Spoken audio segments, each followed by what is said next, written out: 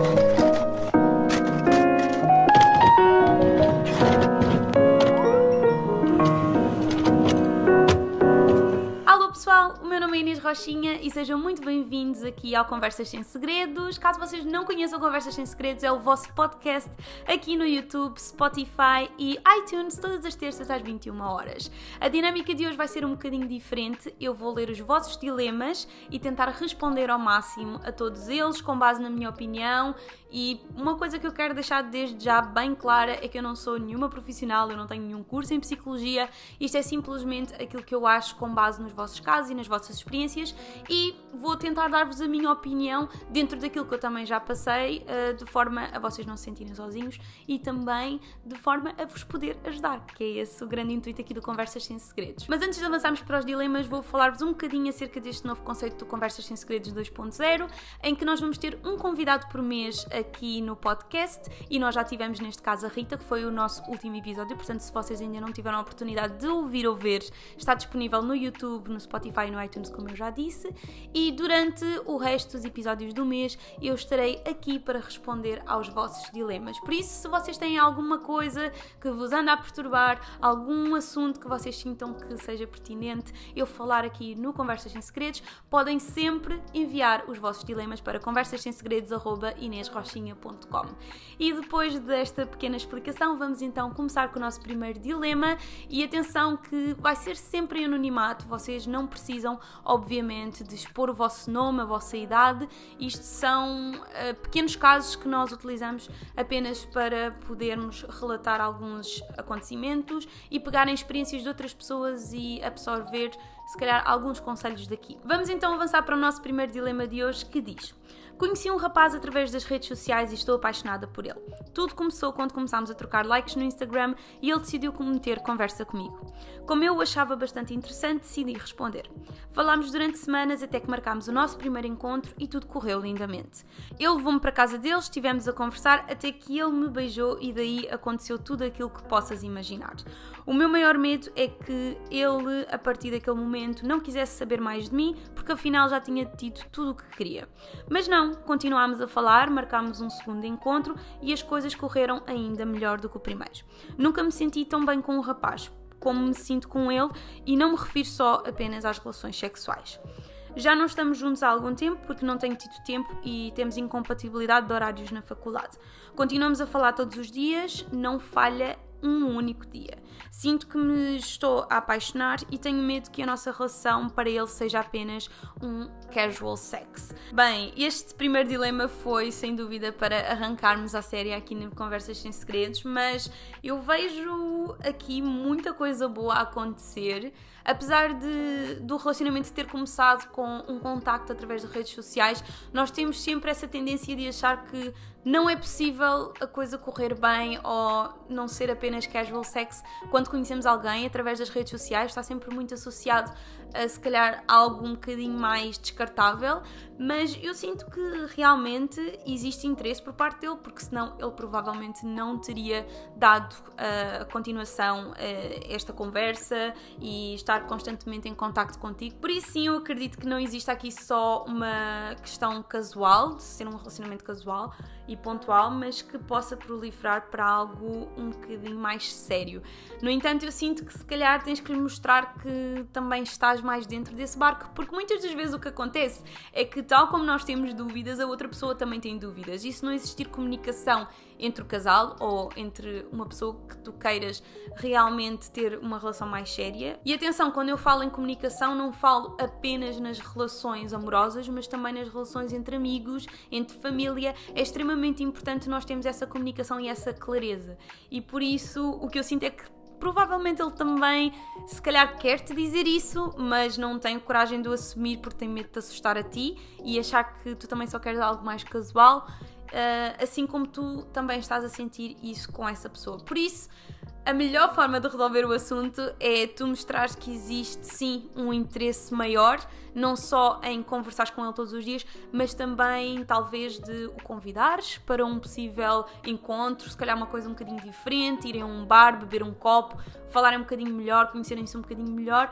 E quem sabe também existe essa disponibilidade do lado dele em perceber realmente que tu também estás dentro disto, não apenas pela relação sexual em si ou por essa envolvência casual, mas por muito mais do que isso. E é muito bonito quando nós conseguimos detectar que existe efetivamente alguém que nos dá um brilhinho extra na vida e que nós nos sentimos tão confortáveis com essa pessoa e não temos que sentir medo ou remorso de elevar a relação a um próximo nível só porque conhecemos essa pessoa na internet e não conhecemos essa pessoa pessoalmente uh, através do primeiro contacto. Por isso, sem medos, marca um encontro com o boy, eu acho que vai ser um sucesso e sem dúvida que se as coisas continuarem, quem sabe se daqui a uns tempos eu não vou receber uma mensagem muito agradável a dizer que as coisas correram bem. O próximo contacto que recebi é relativamente a uma amizade entre melhores amigos, em que diz eu tenho um melhor amigo e já somos melhores amigos há mais de um ano. O meu problema é que eu sinto que não posso confiar totalmente nele e sinto que ele não me leva a sério muitas vezes. Não sei se devo falar com ele ou deixar as coisas andar no relax. Bem, este é o meu dilema. Já agora aproveito para dizer que adoro os teus vídeos e as conversas sem segredos são incríveis e adoro a maneira como falas tão honestamente. Neste caso, eu sinto que se trata mesmo de uma questão de comunicação. É extremamente importante. Se ele é teu melhor amigo, por que não ser sincera e dizer simplesmente: Olha, eu estou a falar de uma coisa que para mim importa, que para mim é sério, porque muitas das vezes as pessoas uh, com quem nós temos mais afinidade são as pessoas que mais brincam com assuntos sérios e que talvez não nos levem tanto a sério porque sentem que nós estamos a relativizar muito ou estamos a exagerar, mas não há nada mais puro do que tu seres sincera e dizes: Olha, isto magoa-me, a forma como tu lidas com um assunto que para mim é sério, por mais que para ti pareça tosco, eu preciso do teu apoio, eu preciso que tu entendas que isto é realmente algo que me perturba, que eu não gosto e eu não preciso que brinques neste momento com esta situação, mas sim que me ajudes. Por mais tosca que pareça, porque os meus amigos também servem muito para isso. Também servem para nos dar na cabeça quando nós estamos a dramatizar, como também serve para nos darem algum colinho. Portanto, eu sinto que talvez o teu melhor amigo não consiga prever que é realmente um assunto sério, porque efetivamente acha que é algo passageiro, algo que tu talvez possas exagerar ligeiramente quando expões o assunto. Portanto, é tudo uma questão de tu comunicar. Se é teu melhor amigo, tu tens que ter esse poder em ti de seres o mais sincero possível. Porque lá está, tu dizes que não sentes que podes confiar a 100% nessa pessoa, porque tu também não estás a, a, dar esse passo de confiança. Se tu confiares a 100% nessa pessoa, tu vais querer ser sincero e dizer: Olha, isto está-me a magoar, isto está a incomodar-me. E por isso, talvez tu sintas essa insegurança porque ele próprio sente que tu não estás a, a confiar nele a 100%. Portanto, nada melhor do que ser sincero e dizer: Olha, nós somos melhores amigos, portanto, vamos ter aqui uma conversa entre nós os dois e pôr tudo a pratos limpos. Há isto que me incomoda, há aquilo que eu gosto, há aquilo que eu não gosto, mas tenta ser sincera sempre pensando, obviamente, também nos sentimentos de outra pessoa há uma diferença e uma barreira muito grande entre ser correto e delicado a exprimir um ponto que tu não estejas tão satisfeita na, na questão da personalidade ou na forma como a pessoa lida sobre os assuntos, como também existem delicadeza e a frieza. Portanto, é uma questão de equilibrares e teres um discurso que também ponha um bocadinho os sentimentos dele uh, dentro da conversa e tenho a certeza que vai correr tudo bem. O nosso último dilema de hoje é referente à faculdade e eu sinto que existe sempre tanta dúvida, tanta incerteza relativamente a este passo porque é nós decidimos para onde vamos, o que é que nós queremos seguir no fundo e depois também temos sempre muito agarrado a nós, a opinião dos outros, o que é que nós devemos fazer, o que não devemos fazer, e por vezes isso implica nós perdermos um bocadinho as nossas vontades e aquilo que nós realmente queremos seguir. Portanto, eu vou ler então este dilema. A minha família e os meus amigos não apoiam a minha escolha da faculdade. Ainda estou no oitavo ano, mas sempre pensei ser psicóloga, mas há um tempo admiti a mim mesma que o que gostaria mesmo de fazer era medicina. A minha mãe disse que eu tinha que estudar muito e que não me iria pagar a faculdade apenas para eu andar a passear os livros. Eu disse-lhe que ia para a faculdade para ter um emprego melhor. Ela insiste que eu deveria fazer enfermagem, que é um curso que não me apaixona, e o meu pai também disse que iria ser muito difícil de fazer. Os meus amigos, pelo contrário, não me apoiam porque vão todos tirar cursos profissionais e não veem futuro na faculdade. Desde já eu devo dizer que estou impressionada com esta pessoa que está no oitavo ano e já pensa o que quer seguir profissionalmente. Eu acho isto fascinante, eu sei que para algumas pessoas é super precoce e que sentem que é uma tolice, que não é uma preocupação que a pessoa deve ter, eh, tendo em conta que está apenas no oitavo ano, mas para mim só mostra que a pessoa tem garra e que está realmente a tentar pensar um bocadinho melhor no seu futuro e naquilo que realmente quer seguir.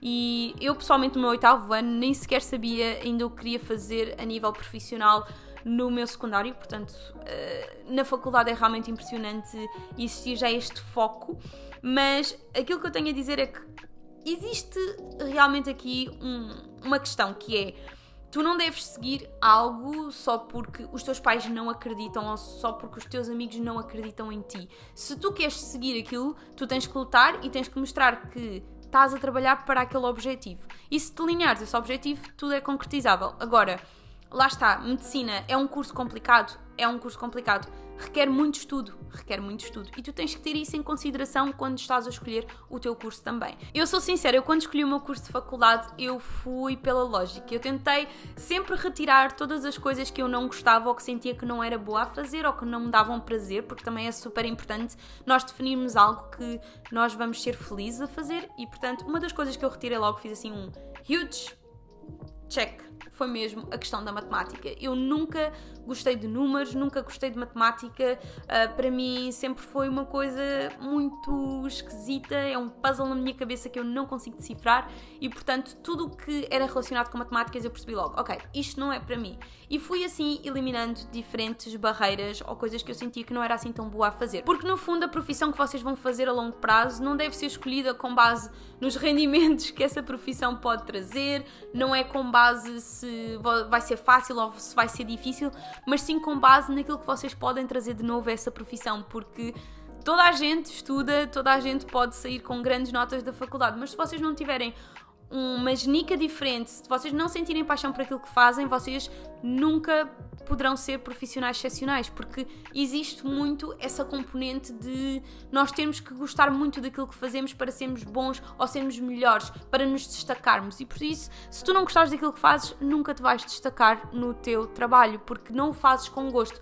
Podes cumprir a tua profissão, podes fazê-lo bem, executá-lo bem, mas não te vais sobressair, não vais ser um destaque. Portanto, independentemente de ser precoce ou não, tenta sempre guiar-te por estas linhas.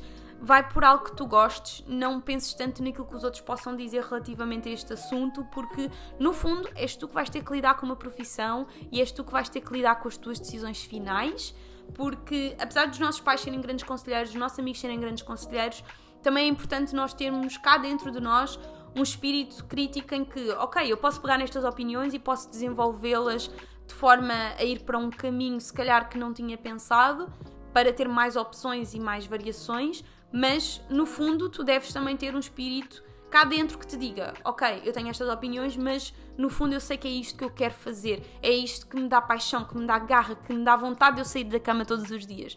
E é um bocadinho por aí.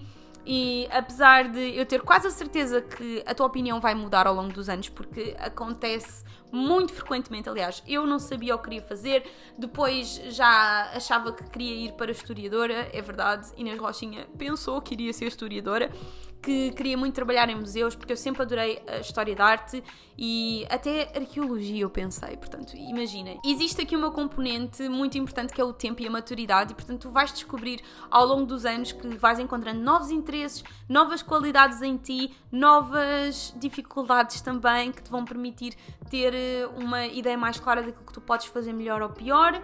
Portanto, não stresses muito relativamente a este assunto, curta aí o teu oitavo ano, vai pensando de uma forma bastante leve, não leves isso como algo que tens que definir já já, porque tudo é uma questão de tempo, tudo é uma questão de maturidade e eu sinto que tu vais fazer a escolha certa, mas nunca te esqueças de agradar o teu bichinho antes de agradar os bichinhos de outras pessoas. E este foi o nosso primeiro Conversas Sem Segredos com os vossos dilemas pessoal. Eu espero muito que vocês tenham gostado de estar desse lado, a ouvir ou a ver este podcast que está disponível no YouTube, Spotify e iTunes. Não se esqueçam de mandar os vossos dilemas que eu terei todo o gosto em responder através de conversas sem segredos@inesrochinha.com. Mais uma vez espero que vocês tenham gostado e até lá vão acompanhando as minhas redes sociais através de Inês Rochinha no YouTube e Instagram. Um grande beijinho e vemo-nos no próximo vídeo. Tchau!